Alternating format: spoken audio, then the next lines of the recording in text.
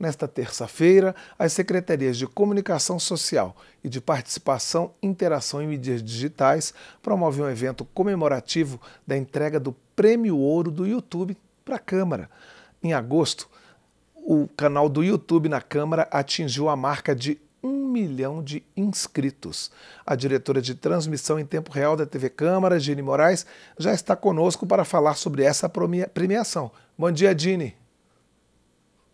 Bom dia, Claudinho. Bom dia a todos que nos acompanham agora ao vivo pela TV Câmara e pela Rádio Câmara. Em primeiro lugar, parabéns pelo prêmio, né? Eu queria que você falasse sobre a importância desse prêmio, principalmente num canal público, né? Porque a gente sabe que as, as, emissoras privadas, a comunicação privada, ela tem mais ferramentas, recursos para chegar ao público. Então, é, é, essa marca atingida por um canal público, ela é mais significativa ainda, né? Exatamente, Claudinho. É, na verdade, a gente precisa entender que isso é simbólico mais pelo sentido de transparência ativa da Câmara dos Deputados, né?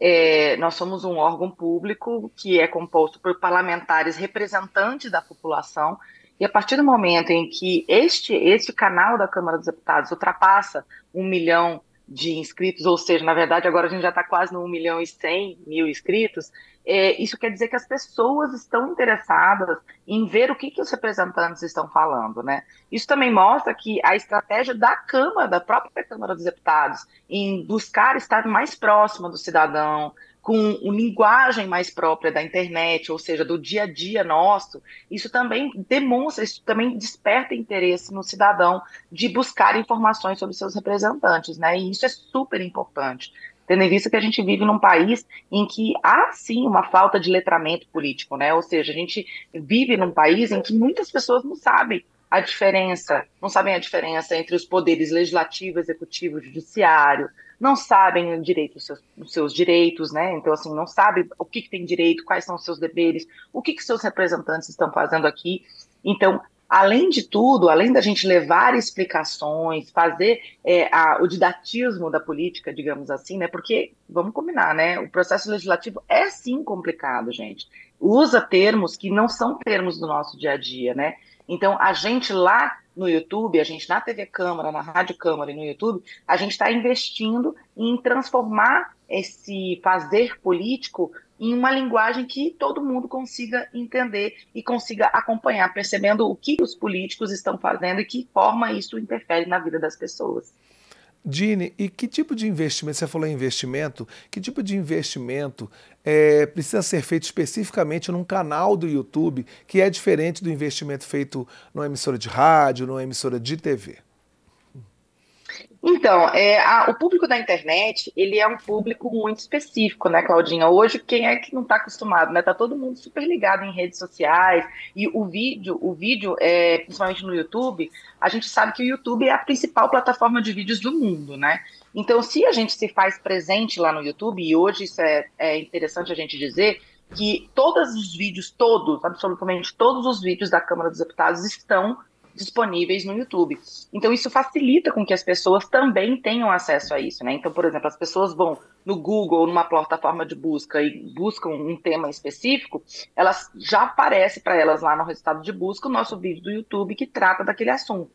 Então, a tendência da gente ter uma fonte para aquela pessoa beber de informações confiáveis, informações diretas da fonte, né, delas ouvirem direto do seu representante, ouvirem o ponto e o contraponto, que também é difícil nas redes sociais, é, a, isso aumenta, né? Aumenta a tendência disso acontecer. Bom, é, você falou de investimento. O que, que a gente chama de investimento? A gente chama de dar prioridade ao uso de linguagens próprias da internet, né? Então, quando a gente se faz presente ali, não adianta a gente usar a linguagem que os deputados usam, por exemplo, numa reunião técnica, né? Ou que os, ou que os especialistas usam numa reunião técnica. A gente, quando vai para a internet, a gente tem que ter o cuidado de falar com a linguagem que a internet está usando, né? Que as pessoas estão usando.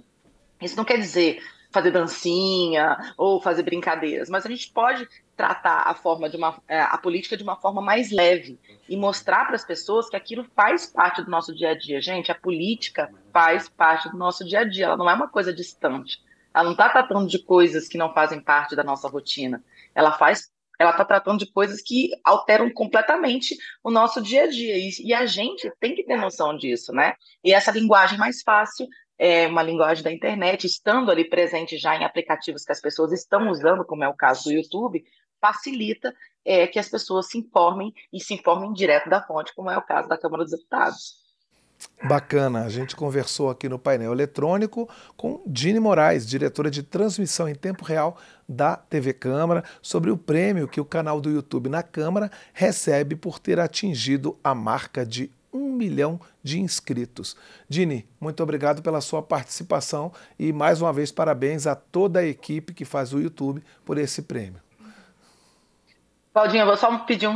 Posso, posso só dar um recadinho rapidinho, então? Fique à vontade. É, eu queria falar para as pessoas é, que todas as nossas transmissões elas estão ao vivo lá, né? Inclusive este programa que a gente está transmitindo agora, né? Pela, pela TV Câmara e pela Rádio Câmara também está lá no YouTube. Eu queria convidar vocês a se inscreverem no canal porque lá no canal nosso oficial da Câmara dos Deputados, arroba Câmara dos Deputados Oficial, lá a gente tem, inclusive, conteúdos exclusivos para o YouTube, né? Então a gente tem lives, a gente tem shorts, são coisas que são mais fáceis para vocês que não têm muito tempo de assistir a, a, a transmissão ao vivo inteiro. Às vezes a gente faz coisas específicas para a internet que são super bacanas e a gente convida vocês a se inscreverem e acompanhar nosso trabalho por lá.